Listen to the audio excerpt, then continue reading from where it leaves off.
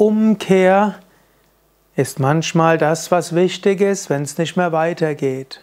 Wenn du dich irgendwo verrannt hast, dann gilt es umzukehren.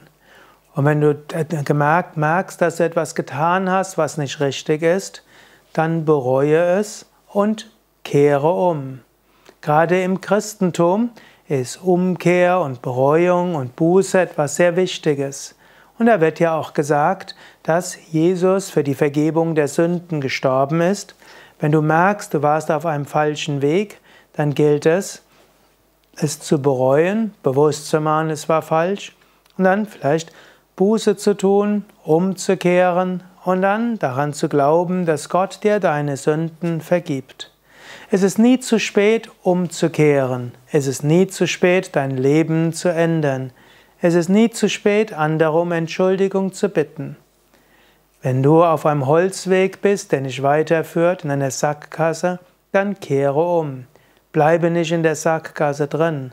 Und wenn du weißt, dass der Weg in eine falsche Richtung geht, Geh's nicht weiter, kehre um. Manchmal muss man auch sagen, besser ein Ende mit Schrecken als ein Schrecken ohne Ende.